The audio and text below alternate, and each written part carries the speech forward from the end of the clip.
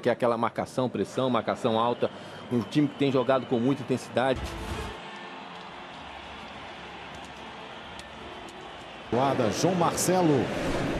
Tá aí o Cássio, um dos símbolos desse novo Cruzeiro. Pereira, que é o jogador que, que, é, que pensa o jogo, né? Que organiza essa bola recuada Olha assim, a é bola sempre um perigo. recuada, perigo. Essa bola tem que ser com mais atenção ali, tinha muita pressão. Não houve revisão, escanteio cobrado. Direto, Cássio tira.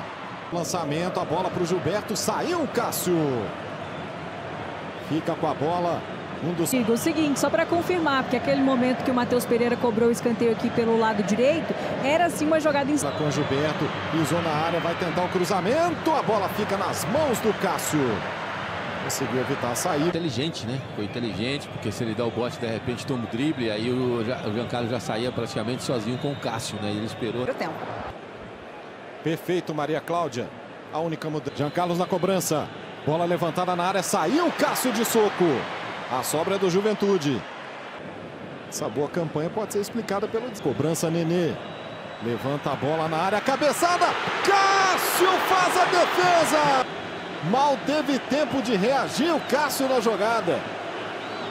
Aparecer sozinho no segundo pau. Ótima defesa do Cássio, mas acho que ele poderia ter feito coisa melhor. Gol. Vai comemorando mais uma vitória. O Juventude chega cara a cara com Cássio. Vai para a dividida. E o Cássio caído, esperando atendimento. Com o Premier. Dá jogo.